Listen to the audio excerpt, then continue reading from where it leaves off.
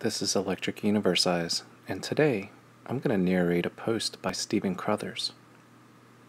The Event Horizon Telescope team did not image anything in M87. Here is how they did it.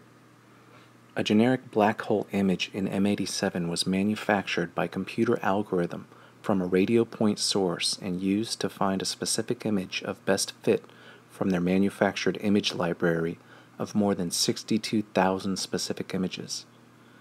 They call their computer manufactured images synthetic images because they are not images of anything, just computer graphics. They used 420 different models to manufacture their synthetic image library. Here is what they write Quote, we have used the simulation library to generate more than 420 different physical scenarios.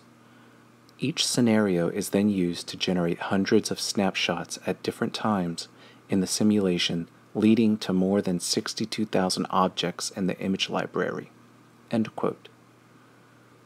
The cited paper below is open access, so you can get it for free. There are five other papers, all replete with such nonsense.